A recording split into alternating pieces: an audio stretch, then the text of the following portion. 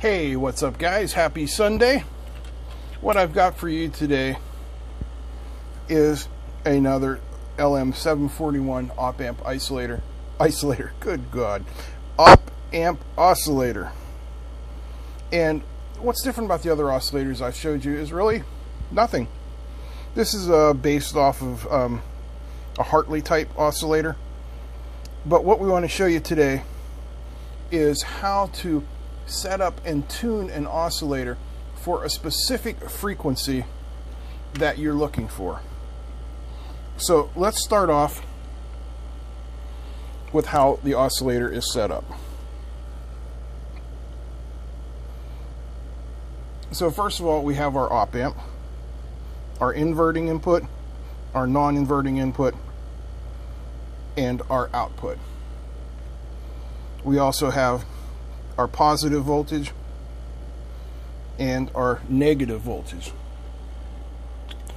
Now, the first step is we are going to come off the output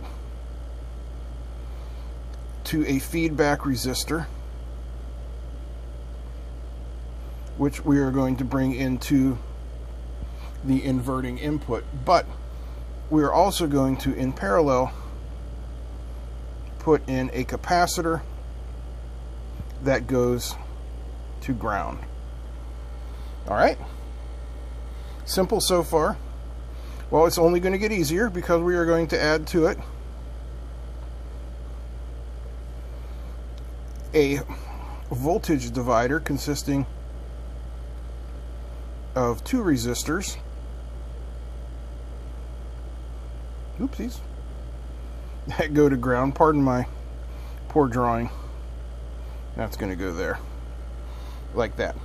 So that is the general layout of our oscillator. And the one that I have got here uses a 1K5 for our feedback resistor, which we call RF. And then R1 and R2 are both 1K. I'm just doing these values to keep everything simple. And then our capacitor is 100 nanofarad and that is going to give us a frequency of 1 kilohertz. About. Because, of course, the formula for the frequency is 1 over 2 pi RC, or it is the reciprocal of 2 pi RC. So, if you wanted to change this, you can change the frequency and tune your oscillator by changing the capacitor.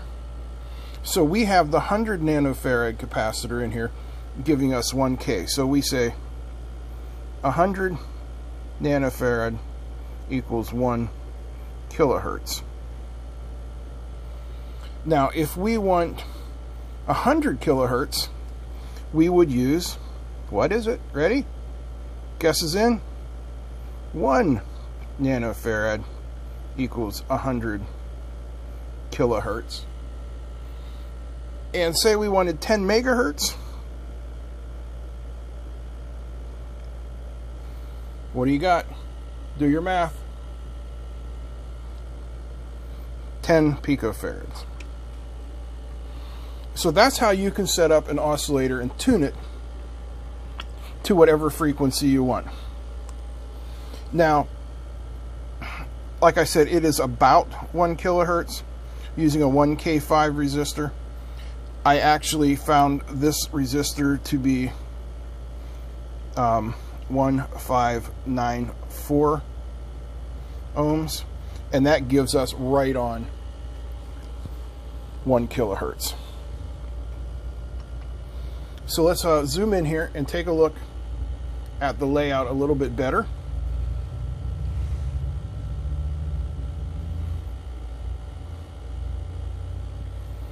All right, so here's our 741 op amp. Here's pin one.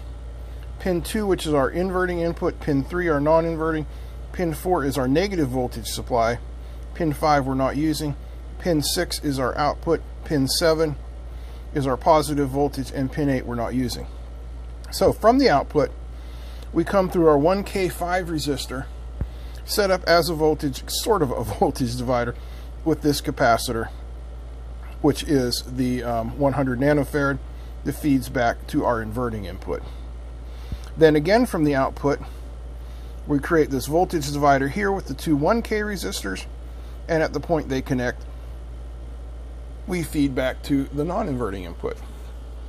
So, let's take a look at the output on the scope.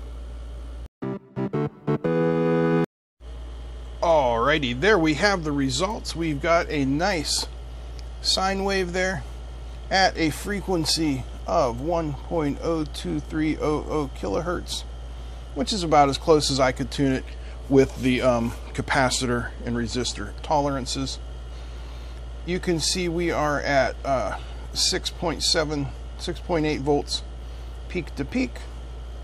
And yeah, we're looking at 2 volts per division there. So 2, 4, 2, 4. Not bad.